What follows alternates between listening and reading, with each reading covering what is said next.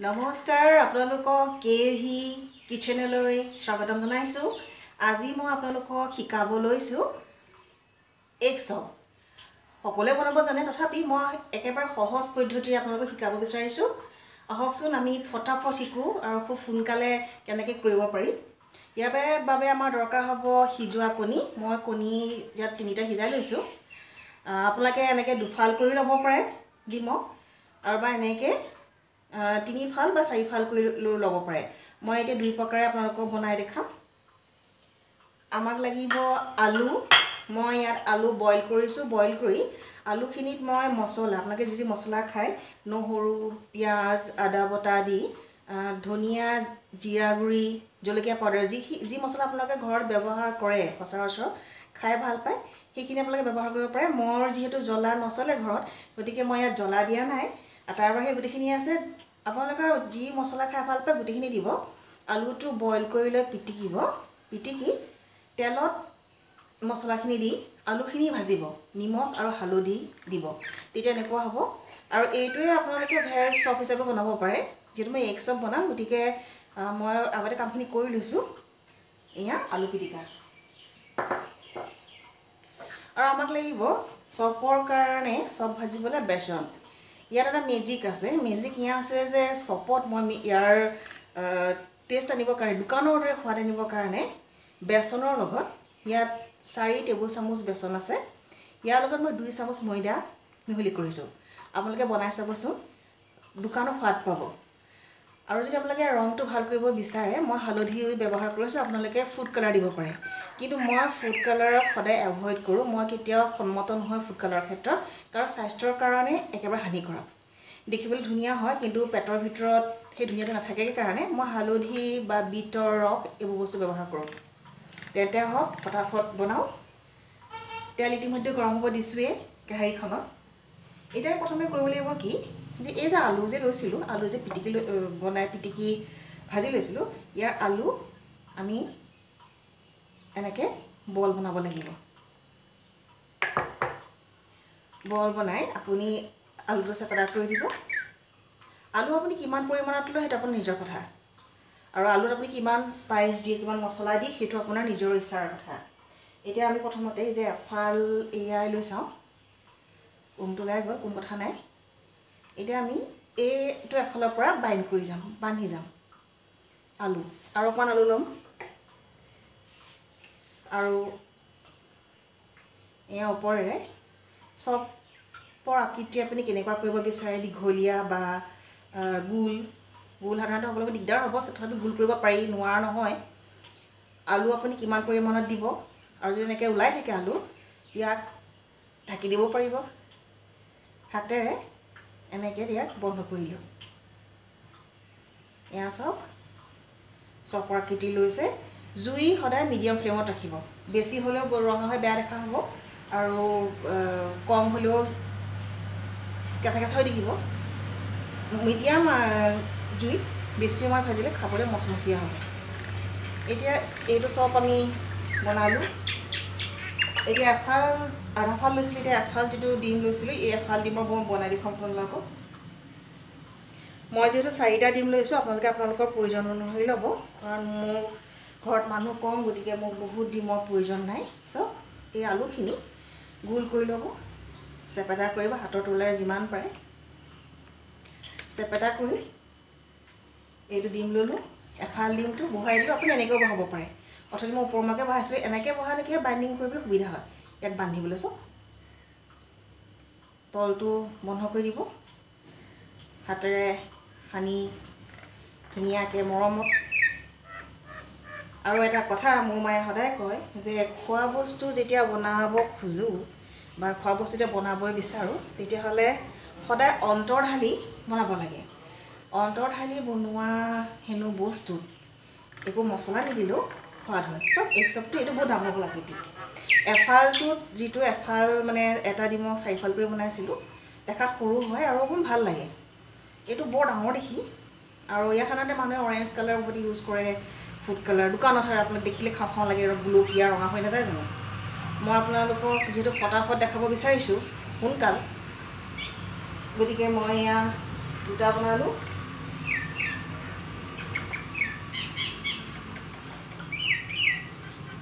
এইটো আছিলে এফাল ডিমৰ আৰু এইটো আছিলে গোটা ডিমৰ। আপুনি আকৃতিটোত দেখিলে ধৰিব পাৰিব। এইটো বহল হোৱাৰ কাৰণে বেছি ডাঙৰ হৈছে। দেখাত বৰ এটা ভাল নালাগে। কিন্তু এইটো এনেকুৱা চাইজটো মই সাধাৰণতে নিজে ভাল পাওঁ।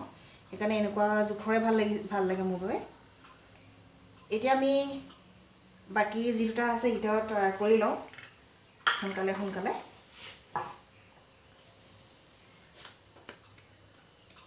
এয়া ল'লোঁ। ইয়াত ডিমৰ এফাল এবাৰ ওলোটাই দিলোঁ। চাওক ভালকৈ বাইণ্ডিং কৰাটো। হেঁচা মাৰি দিয়ক। ছাইডবোৰ বন্ধ কৰি দিয়ক। টেপা মাৰি দিয়ক এনেকৈ হাতেৰে যেনেকৈ লাড়ু বনায়। হাতখন আমি মুঠি মাৰি নলওঁ জানো লাড়ু বনাওঁতে? ঠিক তেনেকৈ ল'লে হ'ল। আৰু ইয়াৰ ওপৰত আৰু অকণ দি দিয়ক। এয়া ঢাকি দিলোঁ। আৰু শান্ত শিষ্টভাৱে মৰমেৰে এয়া হৈ গ'ল চফ। চব আপুনি যিটো আকৃতি দিব বিচাৰে আপোনালোকৰ তেনেকৈ তেনেকৈ আকৃতি দিলে হৈ গ'ল। তিনিটা হৈ গ'ল। আৰু এফাল ডিমৰ বনাই বনাই লওঁ। পদ্ধতি একেটাই কোনো বেলেগ পদ্ধতি নহয়। এয়া আপোনালোকে যদি আৰু বেছি মচমচীয়া কৰিব বিচাৰে তেতিয়াহ'লে এই যে বেচনৰ যিটো ঘোল বনাইছিলোঁ বেচন আৰু ময়দাৰ তাত আপোনালোকে অকণমান কৰ্ণফ্ল'ৰ ইউজ কৰিব পাৰে। কিন্তু মই ভাবোঁ কৰ্ণফ্ল'ৰ ইউজ নকৰিলেও চলিব। কাৰণ বেচন আৰু ময়দাই তাৰ এটা বেলেগ এটা সোৱাদ আনে। মানে দোকানৰ যিটো ডাঠ ডাঠ এটা হয় খাবলৈ বাকলিটো খাই পেলাই বৰ ভাল লাগে। তেনেকুৱা হয়। যিমানেই কৰি থাকিব এই বস্তু এইকেইটা আপোনাক কৰিবলৈ সুবিধাজনক হ'ব।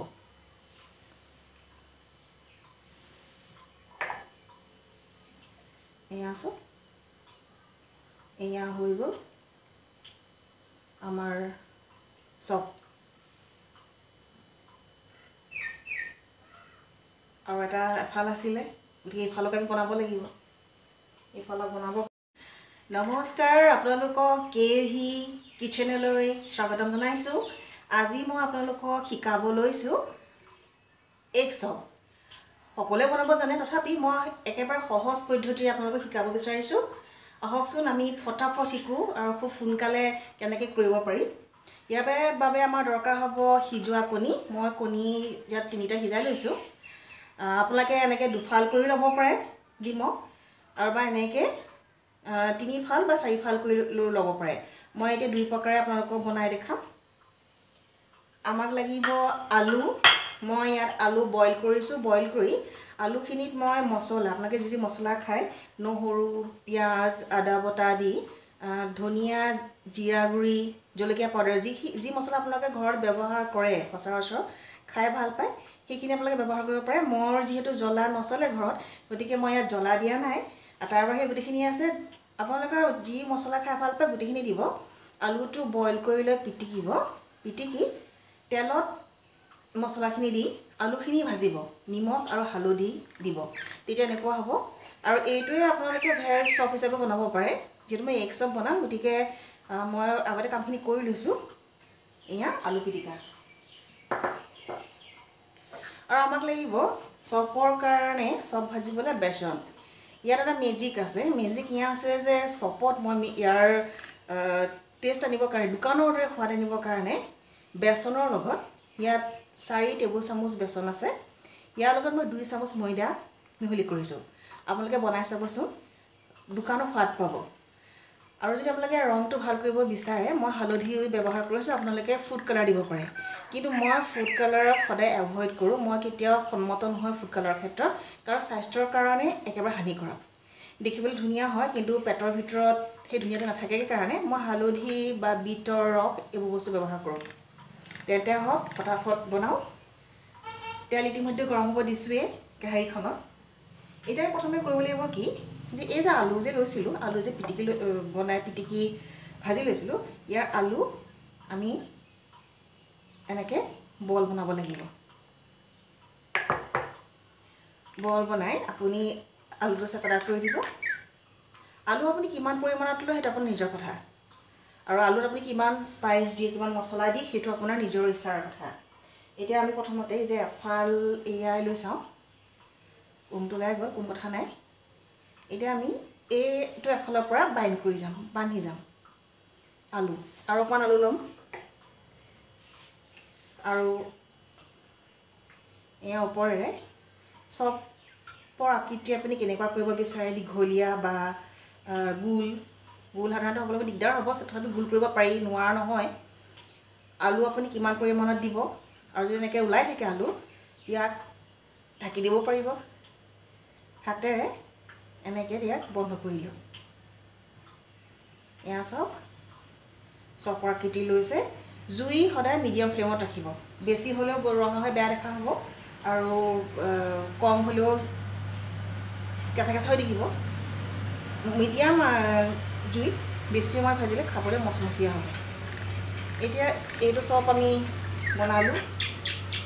এতিয়া এফাল আধা ফাল লৈছিলোঁ এতিয়া এফাল যিটো ডিম লৈছিলোঁ এই এফাল ডিমৰ মই বনাই দেখুৱাম আপোনালোকক মই যিহেতু চাৰিটা ডিম লৈছোঁ আপোনালোকে আপোনালোকৰ প্ৰয়োজন অনুসৰি ল'ব কাৰণ মোৰ ঘৰত মানুহ কম গতিকে মোক বহুত ডিমৰ প্ৰয়োজন নাই। চ' এই আলুখিনি গোল কৰি ল'ব। চেপেটা কৰিব হাতৰ তলেৰে যিমান পাৰে। চেপেটা কৰি এইটো ডিম ল'লোঁ এফাল ডিমটো বহাই দিলোঁ আপুনি এনেকৈও বহাব পাৰে। অথনি মই ওপৰমুৱাকৈ বহাইছিলোঁ এনেকৈ বহালেহে বাইণ্ডিং কৰিবলৈ সুবিধা হয়। ইয়াক বান্ধিবলৈ চব তলটো বন্ধ কৰি দিব। হাতেৰে সানি ধুনীয়াকৈ মৰমত আৰু এটা কথা মোৰ মায়ে সদায় কয় যে খোৱা বস্তু যেতিয়া বনাব খোজোঁ বা খোৱা বস্তু যেতিয়া বনাবই বিচাৰোঁ তেতিয়াহ'লে সদায় অন্তৰ ঢালি বনাব লাগে। অন্তৰ ঢালি বনোৱা হেনো বস্তুত একো মছলা নিদিলেও সোৱাদ হয়। চব এক চবটো এইটো বহুত ডাঙৰ হ'ল আকৃতি। এফালটোত যিটো এফাল মানে এটা ডিমক চাৰিফাল কৰি বনাইছিলোঁ দেখাত সৰু হয় আৰু অকণমান ভাল লাগে। এইটো বৰ ডাঙৰ দেখি। আৰু ইয়াত সাধাৰণতে মানুহে অৰেঞ্জ কালাৰৰ প্ৰতি ইউজ কৰে ফুড কালাৰ দোকানত হয় আপোনাক দেখিলে খাওঁ খাওঁ লাগে আৰু গুলপীয়া ৰঙা হৈ নাযায় জানো? মই আপোনালোকক যিহেতু ফটাফট দেখাব বিচাৰিছোঁ সোনকাল। গতিকে মই এয়া দুটা বনালোঁ।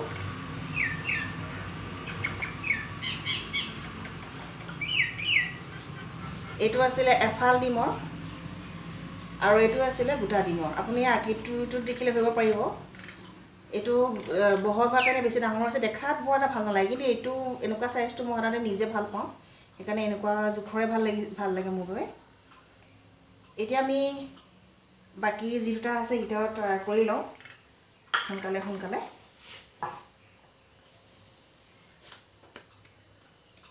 এয়া ল'লোঁ। ইয়াত ডিমৰ এফাল এবাৰ ওলোটাই দিলোঁ। চাওক ভালকৈ বাইণ্ডিং কৰাটো। হেঁচা মাৰি দিয়ক। ছাইডবোৰ বন্ধ কৰি দিয়ক। টেপা মাৰি দিয়ক এনেকৈ হাতেৰে যেনেকৈ লাড়ু বনায়। হাতখন আমি মুঠি মাৰি নলওঁ জানো লাড়ু বনাওঁতে? ঠিক তেনেকৈ ল'লে হ'ল। আৰু ইয়াৰ ওপৰত আৰু অকণ দি দিয়ক। এয়া ঢাকি দিলোঁ। আৰু শান্ত শিষ্টভাৱে মৰমেৰে এয়া হৈ গ'ল চফ। চব আপুনি যিটো আকৃতি দিব বিচাৰে আপোনালোকৰ তেনেকৈ তেনেকৈ আকৃতি দিলে হৈ গ'ল। তিনিটা হৈ গ'ল। আৰু এফাল ডিমৰ বনাই বনাই লওঁ। পদ্ধতি একেটাই কোনো বেলেগ পদ্ধতি নহয়। এয়া আপোনালোকে যদি আৰু বেছি মচমচীয়া কৰিব বিচাৰে তেতিয়াহ'লে যে বেচনৰ যিটো ঘোল বনাইছিলোঁ বেচন আৰু ময়দাৰ তাত আপোনালোকে অকণমান কৰ্ণফ্ল'ৰ ইউজ কৰিব পাৰে। কিন্তু মই ভাবোঁ কৰ্ণফ্ল'ৰ ইউজ নকৰিলেও চলিব। কাৰণ বেচন আৰু ময়দাই তাৰ এটা বেলেগ এটা সোৱাদ আনে। মানে দোকানৰ যিটো ডাঠ ডাঠ এটা হয় খাবলৈ বাকলিটো খাই পেলাই বৰ ভাল লাগে তেনেকুৱা হয়। যিমানেই কৰি থাকিব এই বস্তু এইকেইটা আপোনাক কৰিবলৈ সুবিধাজনক হ'ব।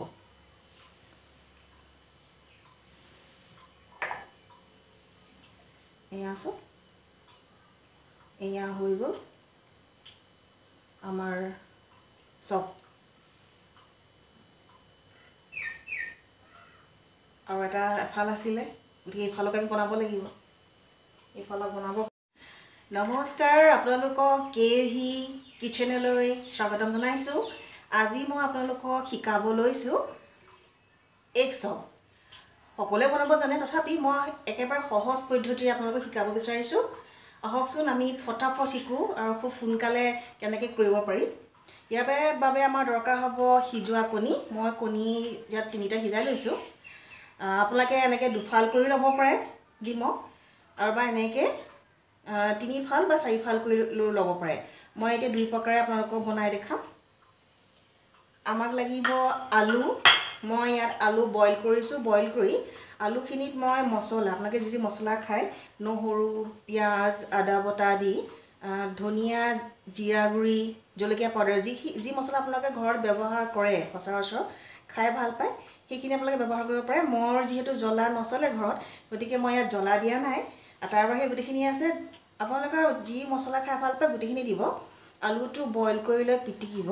পিটিকি তেলত মছলাখিনি দি আলুখিনি ভাজিব নিমখ আৰু হালধি দিব। তেতিয়া এনেকুৱা হ'ব। আৰু এইটোৱে আপোনালোকে ভেজ চপ হিচাপে বনাব পাৰে যিহেতু মই এগ চপ বনাম গতিকে মই আগতে কামখিনি কৰি লৈছোঁ। এয়া আলু পিটিকা। আৰু আমাক লাগিব চপৰ কাৰণে চপ ভাজিবলৈ বেচন। ইয়াত এটা মেজিক আছে। মেজিক ইয়া আছে যে চপত মই ইয়াৰ টেষ্ট আনিবৰ কাৰণে দোকানৰ দৰে সোৱাদ আনিবৰ কাৰণে বেচনৰ লগত ইয়াত চাৰি টেবুল চামুচ বেচন আছে। ইয়াৰ লগত মই দুই চামুচ ময়দা মিহলি কৰিছোঁ। আপোনালোকে বনাই চাবচোন দোকানৰ সোৱাদ পাব। আৰু যদি আপোনালোকে ৰংটো ভাল কৰিব বিচাৰে মই হালধি ব্যৱহাৰ কৰিছোঁ আপোনালোকে ফুড কালাৰ দিব পাৰে। কিন্তু মই ফুড কালাৰক সদায় এভইড কৰোঁ মই কেতিয়াও সন্মত নহয় ফুড কালাৰৰ ক্ষেত্ৰত কাৰণ স্বাস্থ্যৰ কাৰণে একেবাৰে হানিকাৰক। দেখিবলৈ ধুনীয়া হয় কিন্তু পেটৰ ভিতৰত সেই ধুনীয়াটো নাথাকে কাৰণে মই হালধি বা বিটৰ ৰস এইবোৰ বস্তু ব্যৱহাৰ কৰোঁ। তেন্তে হওক ফটাফট বনাওঁ। তেল ইতিমধ্যে গৰম হ'ব দিছোঁৱেই কেৰাহীখনত এতিয়া প্ৰথমে কৰিব লাগিব কি যে এই যে আলু যে লৈছিলোঁ আলু যে পিটিকি লৈ বনাই পিটিকি ভাজি লৈছিলোঁ ইয়াৰ আলু আমি এনেকৈ বল বনাব লাগিব। বল বনাই আপুনি আলুটো চেপেটা কৰি দিব। আলু আপুনি কিমান পৰিমাণত লয় সেইটো আপোনাৰ নিজৰ কথা। আৰু আলুত আপুনি কিমান স্পাইচ দিয়ে কিমান মছলা দিয়ে সেইটো আপোনাৰ নিজৰ ইচ্ছাৰ কথা। এতিয়া আমি প্ৰথমতে যে এফাল এয়াই লৈ চাওঁ। উমটো ওলাই গ'ল কোনো কথা নাই। এতিয়া আমি এইটো এফালৰ পৰা বাইণ্ড কৰি যাম বান্ধি যাম। আলু আৰু অকণমান আলু ল'ম। আৰু এয়া ওপৰেৰে চপৰ আকৃতি আপুনি কেনেকুৱা কৰিব বিচাৰে দীঘলীয়া বা গোল। গোল সাধাৰণতে হ'বলৈ দিগদাৰ হ'ব তথাপি গোল কৰিব পাৰি নোৱাৰা নহয়। আলু আপুনি কিমান পৰিমাণত দিব আৰু যদি এনেকৈ ওলাই থাকে আলু ইয়াক ঢাকি দিব পাৰিব। হাতেৰে এনেকৈ ইয়াক বন্ধ কৰি দিওঁ এয়া চাওক চপৰ আকৃতি লৈছে। জুই সদায় মিডিয়াম ফ্লেমত ৰাখিব। বেছি হ'লেও ৰঙা হৈ বেয়া দেখা হ'ব আৰু কম হ'লেও কেঁচা কেঁচা হৈ থাকিব মিডিয়াম জুইত বেছি সময় ভাজিলে খাবলৈ মচমচীয়া হ'ব। এতিয়া এইটো চপ আমি বনালোঁ। এতিয়া এফাল আধা ফাল লৈছিলোঁ এতিয়া এফাল যিটো ডিম লৈছিলোঁ এই এফাল ডিমৰ মই বনাই দেখুৱাম আপোনালোকক মই যিহেতু চাৰিটা ডিম লৈছোঁ আপোনালোকে আপোনালোকৰ প্ৰয়োজন অনুসৰি ল'ব কাৰণ মোৰ ঘৰত মানুহ কম গতিকে মোক বহুত ডিমৰ প্ৰয়োজন নাই। চাওক এই আলুখিনি গোল কৰি ল'ব। চেপেটা কৰিব হাতৰ তলুৱাৰে যিমান পাৰে। চেপেটা কৰি এইটো ডিম ল'লোঁ এফাল ডিমটো বহাই দিলোঁ আপুনি এনেকৈও বহাব পাৰে। অথনি মই ওপৰমুৱাকৈ বহাইছিলোঁ এনেকৈ বহালেহে বাইণ্ডিং কৰিবলৈ সুবিধা হয়। ইয়াক বান্ধিবলৈ চাওক তলটো বন্ধ কৰি দিব। হাতেৰে সানি ধুনীয়াকৈ মৰমত। আৰু এটা কথা মোৰ মায়ে সদায় কয় যে খোৱা বস্তু যেতিয়া বনাব খোজোঁ বা খোৱা বস্তু যেতিয়া বনাবই বিচাৰোঁ তেতিয়াহ'লে সদায় অন্তৰ ঢালি বনাব লাগে। অন্তৰ ঢালি বনোৱা হেনো বস্তুত একো মছলা নিদিলেও সোৱাদ হয়। চব এক চবটো এইটো বহুত ডাঙৰ হ'ল আকৃতি। এফালটোত যিটো এফাল মানে এটা ডিমক চাৰিফাল কৰি বনাইছিলোঁ দেখাত সৰু হয় আৰু অকণ ভাল লাগে। এইটো বৰ ডাঙৰ দেখি। আৰু ইয়াত সাধাৰণতে মানুহে অৰেঞ্জ কালাৰৰ প্ৰতি ইউজ কৰে ফুড কালাৰ দোকানত হয় আপোনাক দেখিলে খাওঁ খাওঁ লাগে আৰু গুলপীয়া ৰঙা হৈ নাযায় জানো? মই আপোনালোকক যিহেতু ফটাফট দেখাব বিচাৰিছোঁ সোনকাল। গতিকে মই এয়া দুটা বনালোঁ।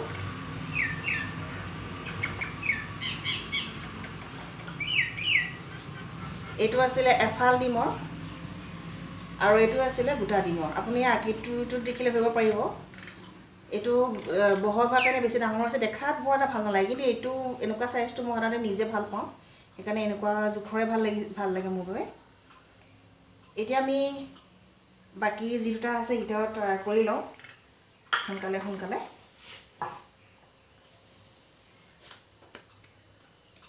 এয়া ল'লোঁ। ইয়াত ডিমৰ এফাল এইবাৰ ওলোটাই দিলোঁ। চাওক ভালকৈ বাইণ্ডিং কৰাটো। হেঁচা মাৰি দিয়ক। ছাইডবোৰ বন্ধ কৰি দিয়ক। টেপা মাৰি দিয়ক এনেকৈ হাতেৰে যেনেকৈ লাড়ু বনায় হাতখন আমি মুঠি মাৰি নলওঁ জানো লাড়ু বনাওঁতে? ঠিক তেনেকৈ ল'লে হ'ল। আৰু ইয়াৰ ওপৰত আৰু অকণ দি দিয়ক। এয়া ঢাকি দিলোঁ। আৰু শান্ত শিষ্টভাৱে মৰমেৰে এয়া হৈ গ'ল চফ। চফ আপুনি যিটো আকৃতি দিব বিচাৰে আপোনালোকৰ তেনেকৈ তেনেকৈ আকৃতি দিলে হৈ গ'ল। তিনিটা হৈ গ'ল। আৰু এফাল ডিমৰ বনাই বনাই লওঁ। পদ্ধতি একেটাই কোনো বেলেগ পদ্ধতি নহয়। এয়া আপোনালোকে যদি আৰু বেছি মচমচীয়া কৰিব বিচাৰে তেতিয়াহ'লে এই যে বেচনৰ যিটো ঘোল বনাইছিলোঁ বেচন আৰু ময়দাৰ তাত আপোনালোকে অকণমান কৰ্ণফ্ল'ৰ ইউজ কৰিব পাৰে। কিন্তু মই ভাবোঁ কৰ্ণফ্ল'ৰ ইউজ নকৰিলেও চলিব। কাৰণ বেচন আৰু ময়দাই তাৰ এটা বেলেগ এটা সোৱাদ আনে। মানে দোকানৰ যিটো ডাঠ ডাঠ এটা হয় খাবলৈ বাকলিটো খাই পেলাই বৰ ভাল লাগে। তেনেকুৱা হয়। যিমানেই কৰি থাকিব এই বস্তু এইকেইটা আপোনাক কৰিবলৈ সুবিধাজনক হ'ব।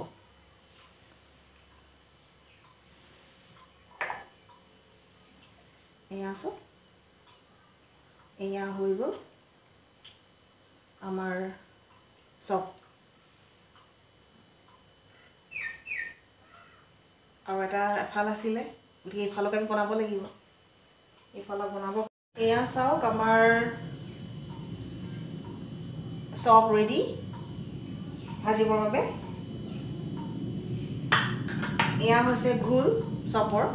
আমি ইয়াৰ প্ৰত্যেকটো চপেই ইয়াত ডুবাম আৰু এনেকৈ আৰামত মিহলাম।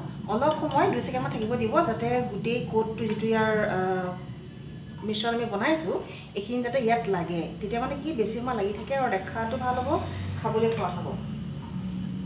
এইটো উঠাই লৈ আমি মই বিস্কুটৰ গুড়ি লৈছোঁ আপোনালোকে ব্ৰেড ক্ৰামছো ল'ব পাৰে। মোৰ যিহেতু ব্ৰেড ক্ৰামছ এতিয়া মজুত নাই ঘৰত গতিকে মই বিস্কুটৰ গুড়িকে ল'লোঁ। এতিয়া ইয়াৰ পৰা উঠাই ল'ম চপটো ইয়াত ইতিমধ্যে আৰু এটা চপ দি দিওঁ যাতে আৰামত থাকে। অলপ সময় ইয়াত জিৰাই চপটোৱে আৰু খাবলৈ সোৱাদ হয়। আমাৰ যে খাই খুব ভাল লাগে। এতিয়া এই যে চপটো লৈছিলোঁ ইয়াক আপুনি এনেকৈ মিহলাই লওঁ। দেখাত সুন্দৰ দেখিব। খাবলৈ মচমচীয়া হয়। আপুনি কাটা বিস্কুটৰ গুড়ি ল'ব পাৰে কুকিজৰ ল'ব পাৰে ব্ৰেড ক্ৰামছ ল'ব পাৰে। আৰু যদি আপোনাৰ দিবলৈ বেয়া পায় আপুনি যদি পচন্দ নকৰে আপুনি নিদিলেও হ'ব। এয়া চাওক এইটো ইয়াত দি দিলোঁ। জুইটো সদায় মধ্যম আঁচত ৰাখিব। বৰ বেছি নিদিব বৰ কমো নিদিব। কাৰণ যদি জুইটো বেছি হয় বা বেছি হ'লে জ্বলাৰ হয় আৰু কম হ'লে কেঁচা হোৱাৰ হ'ব মই আগতেও কৈছোঁ গতিকে মধ্যমীয়া আঁচত মধ্যমীয়া হোৱাটো জৰুৰী জুইটো আৰু এতিয়া দ্বিতীয় যিটো আমাৰ চপ তেওঁ উঠাই লওঁ। এওঁ ডাঙৰ এফালৰটো আছিলে খুব আৰামত খুব চৰি। মাজে মাজে হয় মিষ্টেক একো ডাঙৰ কথা নহয়। অতিপাত গৰম গতিকে চব বন্ধ কৰি পেলাই বনাব লগা হৈছে। শব্দ হোৱাৰ ভয়ত এনেও মই য'ত থাকোঁ তাৰ ৰেলৰ ওপৰতে শব্দ আপোনালোকে নিশ্চয় শুনি আছে ৰেলৰ শব্দবোৰ। এয়া চাওক কি ধুনীয়া আছে দেখিবলৈ দেখিছেনে? এতিয়া এইটো চপো ইয়াত আৰামত দি দিলোঁ।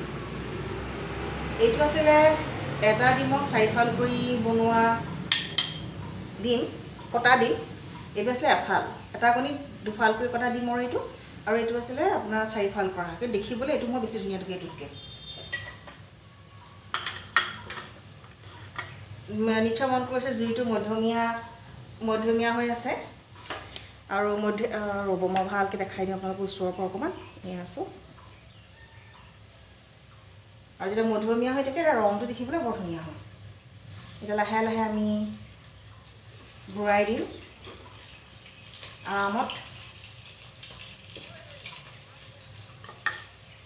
বাকী যিমান আপোনালোকক লাগে প্ৰয়োজন অনুসৰি আপোনালোকে বনাই ল'ব পাৰে।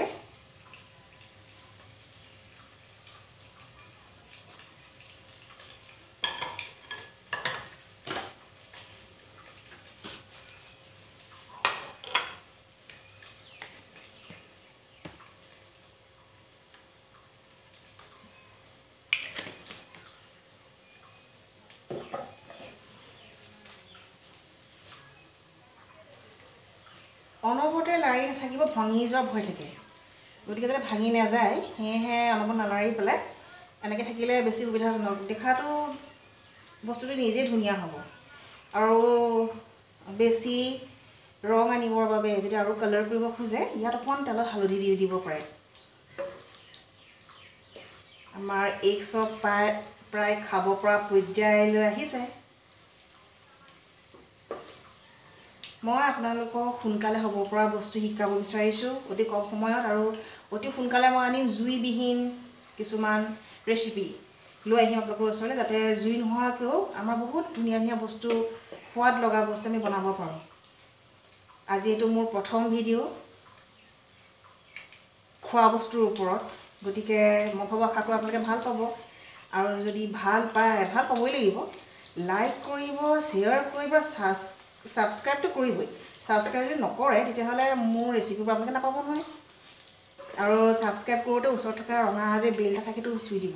কাৰণ সেইটো দিলে প্ৰথমে প্ৰথমে মোৰ বনোৱা বস্তুবোৰ আপোনালোকৰ ওচৰলৈকে যাব।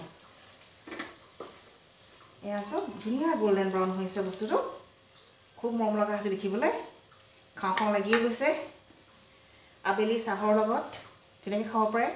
আৰু যদি আপোনালোকৰ ঘৰত আলহী লগা আছে বা তেনেকুৱা কিবা উৎসৱ পাৰ্বণ আছে আপোনালোকে আগতেই বস্তুটো বনাই থৈ দিব পাৰিব ফ্ৰিজত। খালি যেতিয়া ফ্ৰিজত থ'ব আপোনালোকে চপৰ চপ বনাই ঠিক এনেকৈ চেপ বনাই পেলাই চপৰ আপোনালোকে থ'ব পাৰে। এইটো আলুৰ পেষ্টটো এইটো আপোনালোকে নিৰামিষ চপ বনাব পাৰে ডিম নোহোৱাকৈ। এনেকৈ আপুনি ফ্ৰিজত থ'ব পাৰে প্লেটত থ'ব পাৰে বাতিত থোৱা আপোনালোকৰ কথা। কিন্তু থওঁতে ওপৰত এখন ঢাকোন দিব। ঢাকোন মানে হয় বাটাৰ পেপাৰ থাকিব নহ'লে ফইল পেপাৰে থাকিব। তেতিয়া বস্তুটো ফ্ৰেছ হৈ থাকে। এয়া চাওক আমাৰ চপ হৈ গ'ল। এয়া egg chop wow egg chop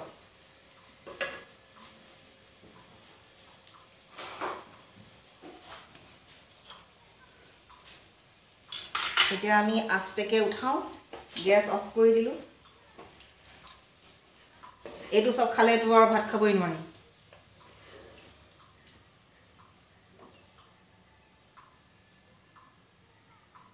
মই খুব কম তেল ব্যৱহাৰ কৰোঁ। বেছি তেল মই নিজেও পচন্দ নকৰোঁ বনাওঁতে ব্যৱহাৰ নকৰোঁ। আপুনি দেখিছে মই খুব কম তেলত নন ষ্টিক পেন ইউজ কৰিছোঁ। আপোনালোকে পৰাপক্ষত কৰিব। এয়া আপোনালোকৰ এগ চপ ৰেডি দেখিছেনে কি ধুনীয়া লাগিছে দেখিবলৈ? একেবাৰে হোম মেড ঘৰত বনোৱা পটক ফটাফট বনোৱা। আৰু টমেট' চচটো যদি আপোনালোকে অকণমান ধুনীয়া কৰিব খোজে দেখায় তেতিয়াহ'লে এটা কাম কৰিব কাটা চামুচখনেৰে লাহেকৈ টানি দিব। দুবাৰ তিনিবাৰ। দেখা দেখিলে পাত যেন লাগিছে। এয়া আপোনালোকৰ বাবে এগ চপ। কে ভি কিটচেনৰ পৰা। ছাবস্ক্ৰাইব কৰিব নাপাহৰিব দেই। আজিলৈ আহিছোঁ। নমস্কাৰ আপোনালোকক কে ভি কিটচেনলৈ স্বাগতম জনাইছোঁ। আজি মই আপোনালোকক শিকাব লৈছোঁ এগ চপ সকলোৱে বনাব জানে তথাপি মই একেবাৰে সহজ পদ্ধতিৰে আপোনালোকক শিকাব বিচাৰিছোঁ। আহকচোন আমি ফটাফট শিকোঁ আৰু খুব সোনকালে কেনেকৈ কৰিব পাৰি। ইয়াৰ বাবে- আমাৰ দৰকাৰ হ'ব সিজোৱা কণী। মই কণী ইয়াত তিনিটা সিজাই লৈছোঁ। আপোনালোকে এনেকৈ দুফাল কৰি ল'ব পাৰে ডিমক। আৰু বা এনেকৈ তিনিফাল বা চাৰিফাল কৰি ল'ব পাৰে। মই এতিয়া দুই প্ৰকাৰে আপোনালোকক বনাই দেখাম। আমাক লাগিব আলু। মই ইয়াত আলু বইল কৰিছোঁ। বইল কৰি আলুখিনিত মই মছলা আপোনালোকে যি যি মছলা খায় নহৰু পিঁয়াজ আদা বটা দি ধনিয়া জিৰা গুড়ি জলকীয়া পাউডাৰ যি যি মছলা আপোনালোকে ঘৰত ব্যৱহাৰ কৰে সচৰাচৰ খাই ভাল পায় সেইখিনি আপোনালোকে ব্যৱহাৰ কৰিব পাৰে। মোৰ যিহেতু জ্বলা নচলে ঘৰত গতিকে মই ইয়াত জ্বলা দিয়া নাই।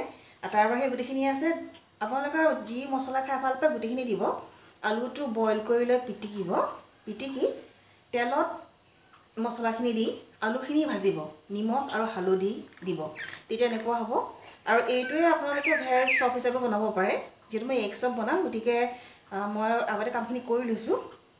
এয়া আলু পিটিকা। আৰু আমাক লাগিব চপৰ কাৰণে চপ ভাজিবলৈ বেচন। ইয়াত এটা মেজিক আছে। মেজিক ইয়া আছে যে চপত মই ইয়াৰ টেষ্ট আনিবৰ কাৰণে দোকানৰ দৰে সোৱাদ আনিবৰ কাৰণে বেচনৰ লগত ইয়াত চাৰি টেবুল চামুচ বেচন আছে। ইয়াৰ লগত মই দুই চামুচ ময়দা মিহলি কৰিছোঁ। আপোনালোকে বনাই চাবচোন। দোকানৰ সোৱাদ পাব। আৰু যদি আপোনালোকে ৰংটো ভাল কৰিব বিচাৰে মই হালধি ব্যৱহাৰ কৰিছোঁ আপোনালোকে ফুড কালাৰ দিব পাৰে। কিন্তু মই ফুড কালাৰক সদায় এভইড কৰোঁ মই কেতিয়াও সন্মত নহয় ফুড কালাৰৰ ক্ষেত্ৰত কাৰণ স্বাস্থ্যৰ কাৰণে একেবাৰে হানিকাৰক। দেখিবলৈ ধুনীয়া হয় কিন্তু পেটৰ ভিতৰত সেই ধুনীয়াটো নাথাকে কাৰণে মই হালধি বা বিটৰ ৰস এইবোৰ বস্তু ব্যৱহাৰ কৰোঁ। তেন্তে হওক ফটাফট বনাওঁ।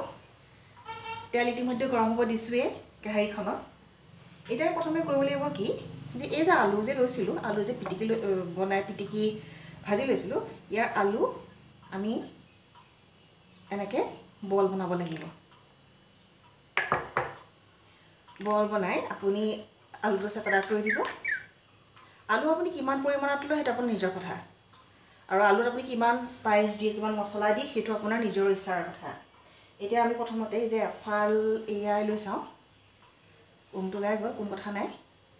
এতিয়া আমি এইটো এফালৰ পৰা বাইণ্ড কৰি যাম বান্ধি যাম। আলু আৰু অকণমান আলু ল'ম।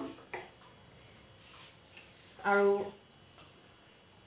এয়া ওপৰেৰে চপৰ আকৃতি আপুনি কেনেকুৱা কৰিব বিচাৰে দীঘলীয়া বা গোল। গোল সাধাৰণতে হ'বলৈ দিগদাৰ হ'ব তথাপি গোল কৰিব পাৰি নোৱাৰা নহয়। আলু আপুনি কিমান পৰিমাণত দিব আৰু যদি এনেকৈ ওলাই থাকে আলু ইয়াক ঢাকি দিব পাৰিব। হাতেৰে এনেকৈ ইয়াক বন্ধ কৰি দিওঁ এয়া চাওক চপৰ আকৃতি লৈছে। জুই সদায় মিডিয়াম ফ্লেমত ৰাখিব। বেছি হ'লেও ৰঙা হৈ বেয়া দেখা হ'ব। আৰু কম হ'লেও কেঁচা কেঁচা হৈ থাকিব মিডিয়াম জুইত বেছি সময় ভাজিলে খাবলৈ মচমচীয়া হ'ব। এতিয়া এইটো চপ আমি বনালোঁ। এতিয়া এফাল আধা ফাল লৈছিলোঁ এতিয়া এফাল যিটো ডিম লৈছিলোঁ এই এফাল ডিমৰ মই বনাই দেখুৱাম আপোনালোকক মই যিহেতু চাৰিটা ডিম লৈছোঁ আপোনালোকে আপোনালোকৰ প্ৰয়োজন অনুসৰি ল'ব। কাৰণ মোৰ ঘৰত মানুহ কম গতিকে মোক বহুত ডিমৰ প্ৰয়োজন নাই। চ' এই আলুখিনি গোল কৰি ল'ব। চেপেটা কৰিব হাতৰ তলেৰে যিমান পাৰে। চেপেটা কৰি এইটো ডিম ল'লোঁ। এফাল ডিমটো বহাই দিলোঁ আপুনি এনেকৈও বহাব পাৰে। অথনি মই ওপৰমুৱাকৈ বহাইছিলোঁ এনেকৈ বহালেকে বাইণ্ডিং কৰিবলৈ সুবিধা হয়। ইয়াক বান্ধিবলৈ চাওক। তলটো বন্ধ কৰি দিব। হাতেৰে সানি ধুনীয়াকৈ মৰমত। আৰু এটা কথা মোৰ মায়ে সদায় কয় যে খোৱা বস্তু যেতিয়া বনাব খোজোঁ বা খোৱা বস্তু যেতিয়া বনাবই বিচাৰোঁ তেতিয়াহ'লে সদায় অন্তৰ ঢালি বনাব লাগে।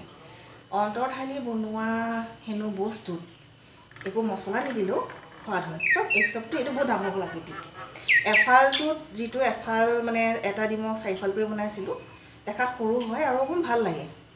এইটো বৰ ডাঙৰ দেখি। আৰু ইয়াত সাধাৰণতে মানুহে অৰেঞ্জ কালাৰৰ প্ৰতি ইউজ কৰে ফুড কালাৰ দোকানত হয় আপোনাক দেখিলে খাওঁ খাওঁ লাগে আৰু গুলপীয়া ৰঙা হৈ নাযায় জানো? মই আপোনালোকক যিহেতু ফটাফট দেখাব বিচাৰিছোঁ সোনকাল। গতিকে মই এয়া দুটা বনালোঁ।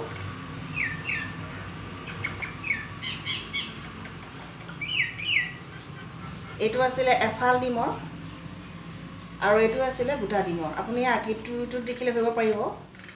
এইটো বহল কাৰণে বেছি ডাঙৰ হৈছে। দেখাত বৰ এটা ভাল নালাগে কিন্তু এইটো এনেকুৱা চাইজটো মই সাধাৰণতে নিজে ভাল পাওঁ। সেইকাৰণে এনেকুৱা জোখৰে ভাল লাগি ভাল লাগে মোৰ বাবে। এতিয়া আমি বাকী যি দুটা আছে সেইকেইটা তৈয়াৰ কৰি লওঁ। সোনকালে সোনকালে।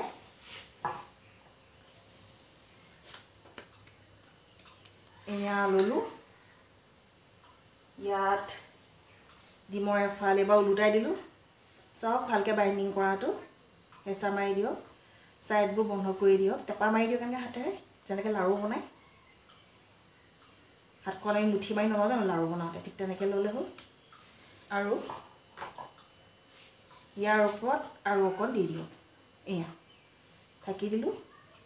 আৰু শান্ত শিষ্টভাৱে মৰমেৰে এয়া হৈ গ'ল চফ। চব আপুনি যিটো আকৃতি দিব বিচাৰে আপোনালোকৰ তেনেকৈ তেনেকৈ আকৃতি দিলে হৈ গ'ল।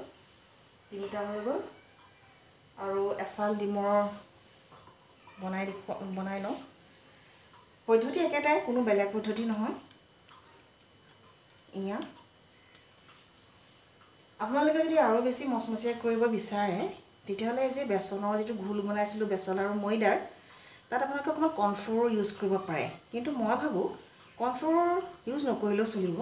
কাৰণ বেচন আৰু ময়দাই তাৰ এটা বেলেগ এটা সোৱাদ আনে। মানে দোকানৰ যিটো ডাঠ ডাঠ এটা হয় খাবলৈ বাকলিটো খাই পেলাই বৰ ভাল লাগে। তেনেকুৱা হয়। যিমানেই কৰি থাকিব এই বস্তু এইকেইটা আপোনাক কৰিবলৈ সুবিধাজনক হ'ব।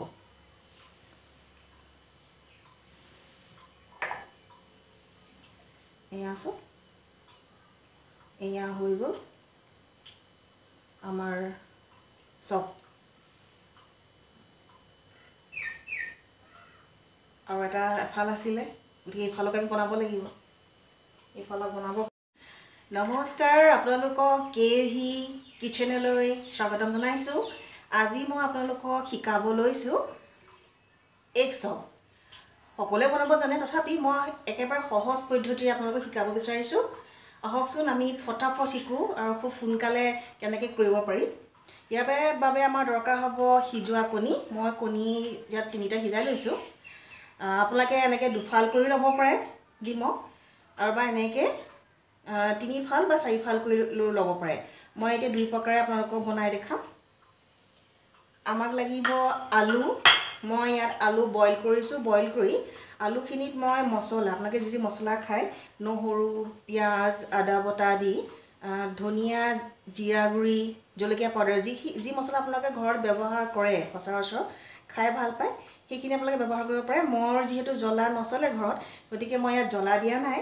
তাৰ বাহিৰে গোটেইখিনি আছে আপোনালোকৰ যি মছলা খাই ভাল পায় গোটেইখিনি দিব। আলুটো বইল কৰি লৈ পিটিকিব। পিটিকি তেলত মছলাখিনি দি আলুখিনি ভাজিব নিমখ আৰু হালধি দিব। তেতিয়া এনেকুৱা হ'ব। আৰু এইটোৱে আপোনালোকে ভেজ চপ হিচাপে বনাব পাৰে যিহেতু মই এগ চপ বনাম গতিকে মই আগতে কামখিনি কৰি লৈছোঁ। এয়া আলু পিটিকা। আৰু আমাক লাগিব চপৰ কাৰণে চপ ভাজিবলৈ বেচন। ইয়াত এটা মেজিক আছে। মেজিক ইয়া আছে যে চপত মই ইয়াৰ টেষ্ট আনিবৰ কাৰণে দোকানৰ দৰে সোৱাদ আনিবৰ কাৰণে বেচনৰ লগত ইয়াত চাৰি টেবুল চামুচ বেচন আছে। ইয়াৰ লগত মই দুই চামুচ ময়দা মিহলি কৰিছোঁ। আপোনালোকে বনাই চাবচোন দোকানৰ সোৱাদ পাব। আৰু যদি আপোনালোকে ৰংটো ভাল কৰিব বিচাৰে মই হালধি ব্যৱহাৰ কৰিছোঁ আপোনালোকে ফুড কালাৰ দিব পাৰে। কিন্তু মই ফুড কালাৰক সদায় এভইড কৰোঁ মই কেতিয়াও সন্মত নহয় ফুড কালাৰৰ ক্ষেত্ৰত কাৰণ স্বাস্থ্যৰ কাৰণে একেবাৰে হানিকাৰক। দেখিবলৈ ধুনীয়া হয় কিন্তু পেটৰ ভিতৰত সেই ধুনীয়াটো নাথাকে কাৰণে মই হালধি বা বিটৰ ৰস এইবোৰ বস্তু ব্যৱহাৰ কৰোঁ। তেন্তে হওক ফটাফট বনাওঁ। তেল ইতিমধ্যে গৰম হ'ব দিছোঁৱেই কেৰাহীখনত। এতিয়া প্ৰথমে কৰিব লাগিব কি? যে এই যে আলু যে লৈছিলোঁ আলু যে পিটিকি লৈ বনাই পিটিকি ভাজি লৈছিলোঁ ইয়াৰ আলু আমি এনেকৈ বল বনাব লাগিব। বল বনাই আপুনি আলুটো চেপেটা কৰি দিব। আলু আপুনি কিমান পৰিমাণত লয় সেইটো আপোনাৰ নিজৰ কথা। আৰু আলুত আপুনি কিমান স্পাইচ দিয়ে কিমান মছলা দিয়ে সেইটো আপোনাৰ নিজৰ ইচ্ছাৰ কথা। এতিয়া আমি প্ৰথমতে যে এফাল এয়াই লৈ চাওঁ। কোমটো ওলাই গ'ল কোনো কথা নাই। এতিয়া আমি এইটো এফালৰ পৰা বাইণ্ড কৰি যাম বান্ধি যাম। আলু আৰু অকণমান আলু ল'ম। আৰু এয়া ওপৰেৰে। চপৰ আকৃতি আপুনি কেনেকুৱা কৰিব বিচাৰে দীঘলীয়া বা গোল। গোল সাধাৰণতে হ'বলৈ দিগদাৰ হ'ব তথাপি গোল কৰিব পাৰি নোৱাৰা নহয়। আলু আপুনি কিমান পৰিমাণত দিব আৰু যদি এনেকৈ ওলাই থাকে আলু ইয়াক ঢাকি দিব পাৰিব। হাতেৰে এনেকৈ ইয়াক বন্ধ কৰি দিওঁ এয়া চাওক চপৰ আকৃতি লৈছে। জুই সদায় মিডিয়াম ফ্লেমত ৰাখিব। বেছি হ'লেও ৰঙা হৈ বেয়া দেখা হ'ব আৰু কম হ'লেও কেঁচা কেঁচা হৈ থাকিব মিডিয়াম জুইত বেছি সময় ভাজিলে খাবলৈ মচমচীয়া হ'ব। এতিয়া এইটো চপ আমি বনালোঁ। এতিয়া এফাল আধা ফাল লৈছিলোঁ এতিয়া এফাল যিটো ডিম লৈছিলোঁ এই এফাল ডিমৰ মই বনাই দেখুৱাম আপোনালোকক মই যিহেতু চাৰিটা ডিম লৈছোঁ আপোনালোকে আপোনালোকৰ প্ৰয়োজন অনুসৰি ল'ব কাৰণ মোৰ ঘৰত মানুহ কম গতিকে মোক বহুত ডিমৰ প্ৰয়োজন নাই। চ' এই আলুখিনি গোল কৰি ল'ব। চেপেটা কৰিব হাতৰ তলেৰে যিমান পাৰে। চেপেটা কৰি এইটো ডিম ল'লোঁ এফাল ডিমটো বহাই দিলোঁ আপুনি এনেকৈও বহাব পাৰে। অথনি মই ওপৰমুৱাকৈ বহাইছিলোঁ এনেকৈ বহালেহে বাইণ্ডিং কৰিবলৈ সুবিধা হয়। ইয়াক বান্ধিবলৈ চাওক তলটো বন্ধ কৰি দিব। হাতেৰে সানি ধুনীয়াকৈ মৰমত। আৰু এটা কথা মোৰ মায়ে সদায় কয় যে খোৱা বস্তু যেতিয়া বনাব খোজোঁ বা খোৱা বস্তু যেতিয়া বনাবই বিচাৰোঁ তেতিয়াহ'লে সদায় অন্তৰ ঢালি বনাব লাগে। অন্তৰ ঢালি বনোৱা হেনো বস্তুত একো মছলা নিদিলেও সোৱাদ হয়। চব এক চবটো এইটো বহুত ডাঙৰ আকৃতি এফালটোত যিটো এফাল মানে এটা ডিমক চাৰিফাল কৰি বনাইছিলোঁ দেখাত সৰু হয় আৰু অকণ ভাল লাগে। এইটো বৰ ডাঙৰ দেখি। আৰু ইয়াত সাধাৰণতে মানুহে অৰেঞ্জ কালাৰৰ প্ৰতি ইউজ কৰে ফুড কালাৰ দোকানত হয় আপোনাক দেখিলে খাওঁ খাওঁ লাগে আৰু গুলপীয়া ৰঙা হৈ নাযায় জানো? মই আপোনালোকক যিহেতু ফটাফট দেখাব বিচাৰিছোঁ সোনকাল। গতিকে মই এয়া দুটা বনালোঁ।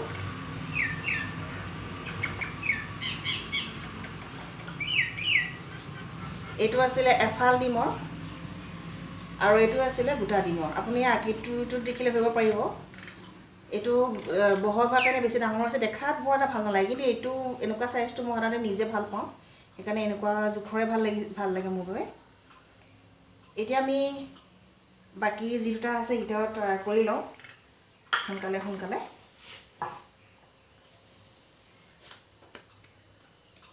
এয়া ল'লোঁ। ইয়াত ডিমৰ এফাল এবাৰ ওলোটাই দিলোঁ। চাওক ভালকৈ বাইণ্ডিং কৰাটো। হেঁচা মাৰি দিয়ক। ছাইডবোৰ বন্ধ কৰি দিয়ক। টেপা মাৰি দিয়ক এনেকৈ হাতেৰে যেনেকৈ লাড়ু বনায়। হাতখন আমি মুঠি মাৰি নলওঁ জানো লাড়ু বনাওঁতে? ঠিক তেনেকৈ ল'লে হ'ল। আৰু ইয়াৰ ওপৰত আৰু অকণ দি দিয়ক। এয়া ঢাকি দিলোঁ।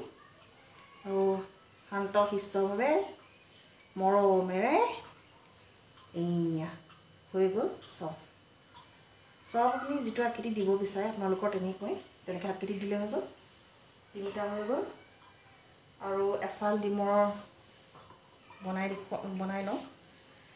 পদ্ধতি একেটাই কোনো বেলেগ পদ্ধতি নহয়। এয়া আপোনালোকে যদি আৰু বেছি মচমচীয়া কৰিব বিচাৰে তেতিয়াহ'লে এই যে বেচনৰ যিটো ঘোল বনাইছিলোঁ বেচন আৰু ময়দাৰ তাত আপোনালোকে অকণমান কৰ্ণফ্ল'ৰ ইউজ কৰিব পাৰে। কিন্তু মই ভাবোঁ কৰ্ণফ্ল'ৰ ইউজ নকৰিলেও চলিব। কাৰণ বেচন আৰু ময়দাই তাৰ এটা বেলেগ এটা সোৱাদ আনে। মানে দোকানৰ যিটো ডাঠ ডাঠ এটা হয় খাবলৈ বাকলিটো খাই পেলাই বৰ ভাল লাগে তেনেকুৱা হয়। যিমানেই কৰি থাকিব এই বস্তু এইকেইটা আপোনাক কৰিবলৈ সুবিধাজনক হ'ব।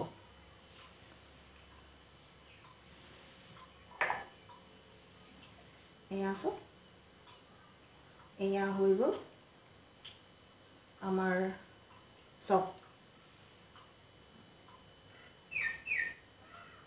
আৰু এটা এফাল আছিলে গতিকে এইফালক আমি বনাব লাগিব। এইফালক বনাব। এয়া চাওক আমাৰ চপ ৰেডি ভাজিবৰ বাবে। এয়া হৈছে ঘোল চপৰ।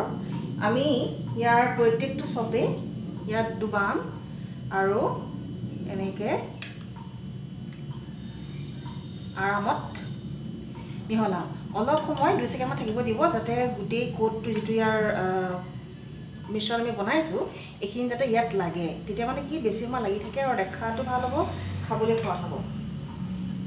এইটো উঠাই লৈ আমি মই বিস্কুটৰ গুড়ি লৈছোঁ আপোনালোকে ব্ৰেড ক্ৰামছো ল'ব পাৰে। মোৰ যিহেতু ব্ৰেড ক্ৰামছ এতিয়া মজুত নাই ঘৰত গতিকে মই বিস্কুটৰ গুড়িকে ল'লোঁ। এতিয়া ইয়াৰ পৰা উঠাই ল'ম চপটো ইয়াত ইতিমধ্যে আৰু এটা চপ দি দিওঁ যাতে আৰামত থাকে। অলপ সময় ইয়াত জিৰাই চপটোৱে আৰু খাবলৈ সোৱাদ হয়। আমাৰ যে খাই খুব ভাল লাগে। এতিয়া এই যে চপটো লৈছিলোঁ ইয়াক আপুনি এনেকৈ মিহলাই লওঁ। দেখাত সুন্দৰ দেখিব। খাবলৈ মচমচীয়া হয়। আপুনি কাটা বিস্কুটৰ গুড়ি ল'ব পাৰে কুকিজৰ ল'ব পাৰে ব্ৰেড ক্ৰামছ ল'ব পাৰে। আৰু যদি আপোনাৰ দিবলৈ বেয়া পায় আপুনি যদি পচন্দ নকৰে আপুনি নিদিলেও হ'ব। এয়া চাওক এইটো ইয়াত দি দিলোঁ। জুইটো সদায় মধ্যম আঁচত ৰাখিব। বৰ বেছি নিদিব বৰ কমো নিদিব। কাৰণ যদি জুইটো বেছি হয় বা বেছি হ'লে জ্বলাৰ হয় আৰু কম হ'লে কেঁচা ভৰা হয়। মই আগতেও কৈছোঁ গতিকে মধ্যমীয়া আহ, মধ্যমীয়া হোৱাটো জৰুৰী জুইটো আৰু এতিয়া দ্বি- দ্বিতীয় যিটো আমাৰ চপ তেওঁ উঠাই লওঁ। তেওঁ ডাঙৰ এফালৰটো আছিলে তেওঁ খুব আৰামত আছে। চৰি। মাজে মাজে হয় মিষ্টেক একো ডাঙৰ কথা নহয়। অতিপাত গৰম গতিকে চব বন্ধ কৰি পেলাই বনাব লগা হৈছে। শব্দ হোৱাৰ ভয়ত এনেও মই য'ত থাকোঁ তাৰ ৰেলৰ অনবৰতে শব্দ আপোনালোকে নিশ্চয় শুনি আছে ৰেলৰ শব্দবোৰ। এয়া চাওক কি ধুনীয়া আছে দেখিবলৈ দেখিছেনে? এতিয়া এইটো চপো ইয়াত আৰামত দি দিলোঁ। এইটো আছিলে এটা ডিমক চাৰিফাল কৰি বনোৱা ডিম কটা ডিম। এইটো আছিলে এফাল। এটা কণীত দুফাল কৰি কটা ডিমৰ এইটো। আৰু এইটো আছিলে আপোনাৰ চাৰিফাল কৰা। দেখিবলৈ এইটো মই বেছি ধুনীয়া দেখোঁ এইটোতকৈ নিশ্চয় মন কৰিছে জুইটো মধ্যমীয়া মধ্যমীয়া হৈ আছে। আৰু মধ্য ৰ'ব মই ভালকৈ দেখাই দিওঁ আপোনালোকৰ ওচৰৰ পৰা অকণমান। এয়া আছোঁ। আৰু যেতিয়া মধ্যমীয়া হৈ থাকে এতিয়া ৰংটো দেখিবলৈ বৰ ধুনীয়া হয়। এতিয়া লাহে লাহে আমি ঘূৰাই দিম। আৰামত। বাকী যিমান আপোনালোকক লাগে প্ৰয়োজন অনুসৰি আপোনালোকে বনাই ল'ব পাৰে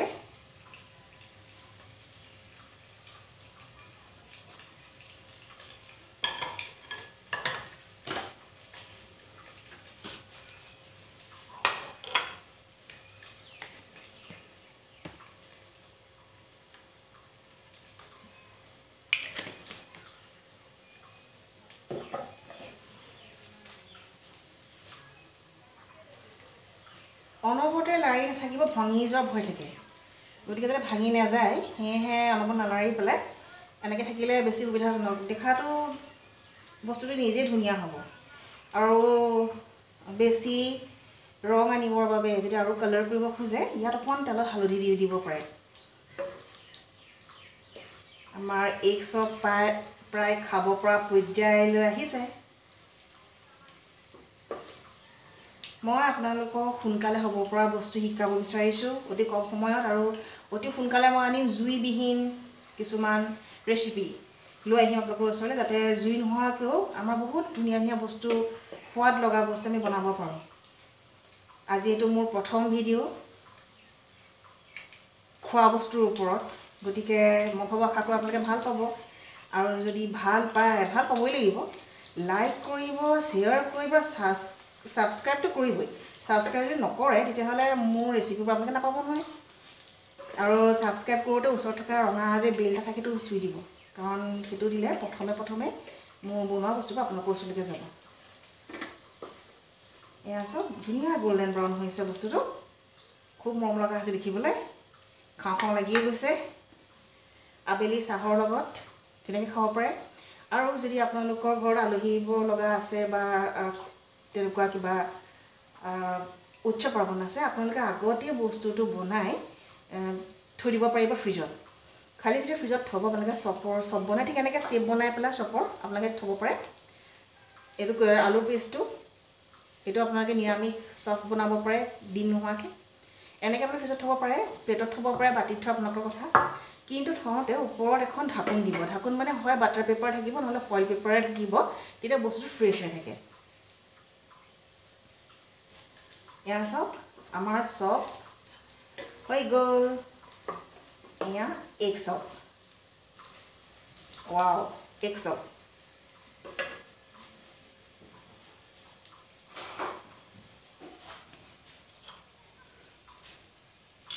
এতিয়া আমি আস্তেকে উঠাওঁ গেছ অফ কৰি দিলোঁ। এইটো চব খালেতো আৰু ভাত খাবই নোৱাৰি